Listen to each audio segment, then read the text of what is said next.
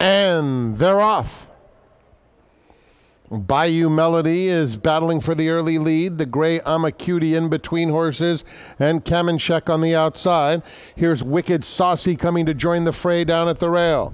Santa Fe Express now fourth on the inside of Bayou Melody, who broke well, but is now about four lengths off the lead, retaking that fourth spot. Lady Ryan, who did not have a quick beginning, moves up on the outside of Santa Fe Express. A gap of five to Noble Present and New York Fancy is the trailer. It's Ama Cutie coming to the quarter pole with a neck lead. Kamenchek pressing second. Bayou Melody in the yellow colors coming back for more on the outside. And here's Bayou Melody to engage Ama Cutie at the top of the stretch. Bayou Melody takes over. With an eighth of a mile to go, has a two length lead. Lady Ryan finishing with some interest on the outside, and I'm a cutie at the rail. They're a 16th from home, and it's Bayou Melody.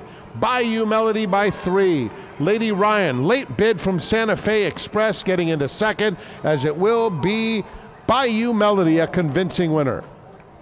Santa Fe Express, a hard charging second. Third to Lady Ryan. Fourth between Amacuti and New York Fancy.